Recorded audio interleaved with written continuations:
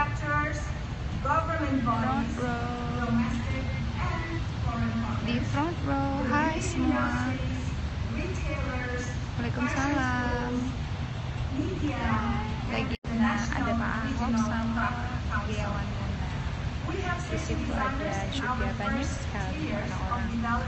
Assalamualaikum warahmatullahi wabarakatuh. Selamat sore, salam sejahtera semua. Pertama-tama, kami selamat Pemprov DKI mengucapkan terima kasih. Ini adalah sebuah konsistensi yang luar biasa. Saya pertama kali hadir di situ tahun 2012, masih di Plaza Senayan. Waktu itu saya datang, saya lihat ini karena pakai nama Jakarta. Jadi kita harus datang, kira-kira gitu. Pak Jokowi nggak mau datang, suruh saya yang datang. Dan habis itu saya nggak datang.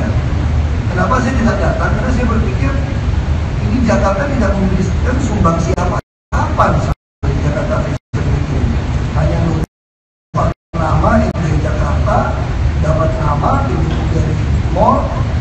pikirkan ada sesuatu kesinambungan. Lalu tahun lalu Dekran Nasdaq Nanti tahun ini saya datang ada dua, ada dan dan ada acara, tapi saya datang karena saya yakin itu sudah ada kolaborasi yang baik dengan Nasda dan para desainer.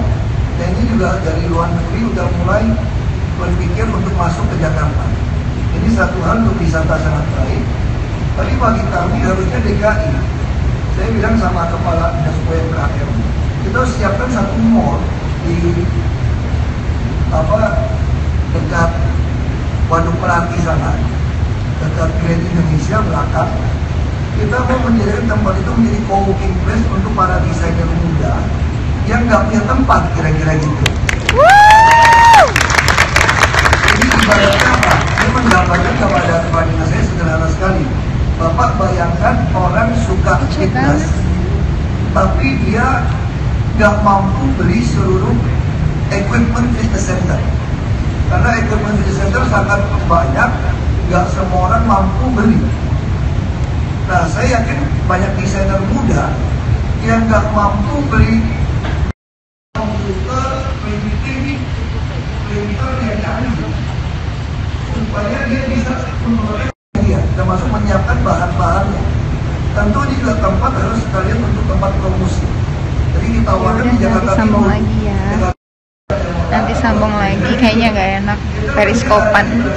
Nanti kita lagi ini ya, lagi on lagi.